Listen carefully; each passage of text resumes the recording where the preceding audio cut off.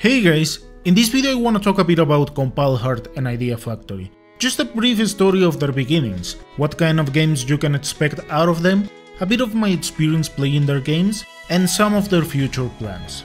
Let's begin with Compile as it was a company founded in April 7, 1982. And with all honesty I didn't hear that much about them aside from Aleste which was a series that focused in shoot 'em ups, similar to Ikaruga, just to put a much more modern example of those games. And they were also known for a series named Puyo Puyo, which is a kind of Tetris that rose from the main series Mado Monogatari, which were first-person dungeon crawlers or crawling games similar to Chrono Trigger, with a catchy combat theme that pretty much got used in every entry as far as I know. For the western audience, we didn't receive many of their games compared with all the releases they had, aside from some shooters and the already mentioned Puyo Puyo series. Unfortunately for them, in November 2003 they had to close due to bankruptcy, dividing the team into companies. One of them, Compile Heart, which is supposed to be the Spiritoax successor, and Milestone Inc., the shoot 'em up successor, which got closed in March 2013 because the president got arrested. As for Idea Factory, they were founded in October 1994, and as far as I knew, they mainly created Otome games, with a subsidiary known as Otomate, being able to release up to 20 games per year.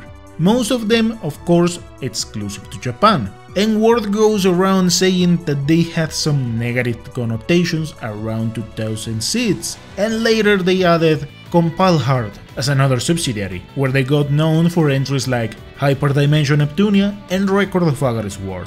Here, what is worth mentioning is that some of the main ideas and perhaps the main drive to create that particular kind of games is because one of the presidents had the vision that video game marketing was always so complex, needing strategies here and there, so they ended up throwing away the classic ideas and started creating those peculiar series that many of us know nowadays.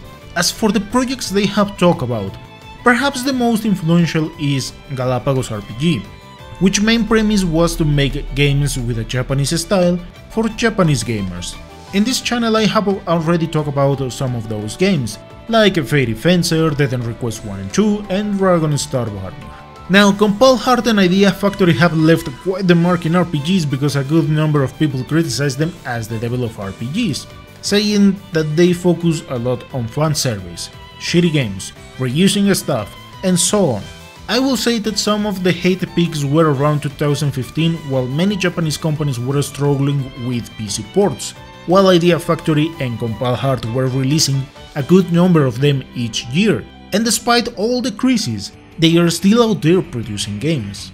At the end of the day, most of their games are niche because of the amount of fan service they have, and it is well known that one of their first good hits for the Vita was Monster Monpiece, quite questionable with a Rubin game, and here it is worth mentioning that a clash of cultures was bound to happen because of those peculiar entries, but that is a discussion for another video.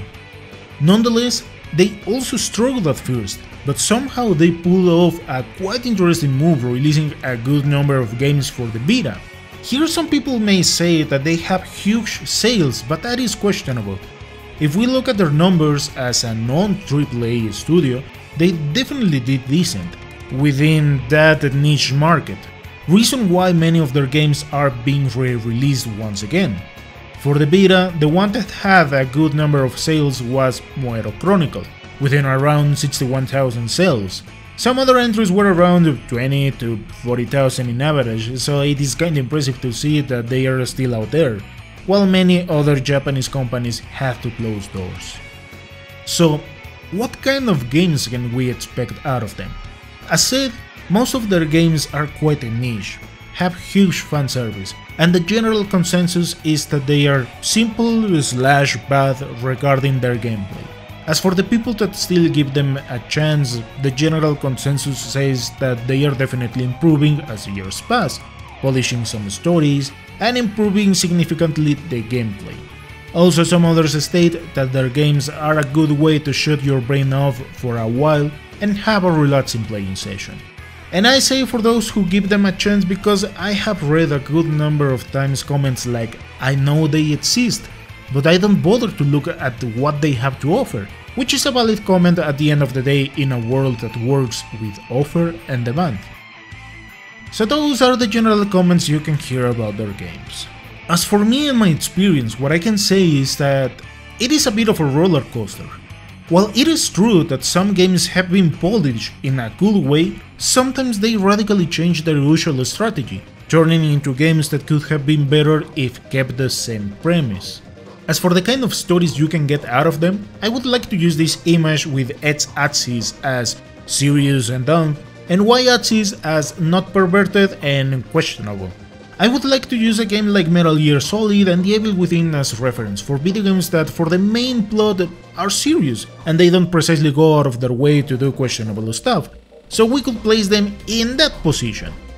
Now let's take a look at Dead End Request. It swings between dumb and serious moments, but for the most part I will say it is likely goes serious. Dead End Request 2 has some really dumb moments, but once you get past the mid of the game it goes quite mature in many ways. But also they have their fair share of fan service. If we want to contrast things here right away we can use the classic Genkai Tokki series, Lai Moero Crystal H, where the story is definitely something dumb and it can be questionable in many ways.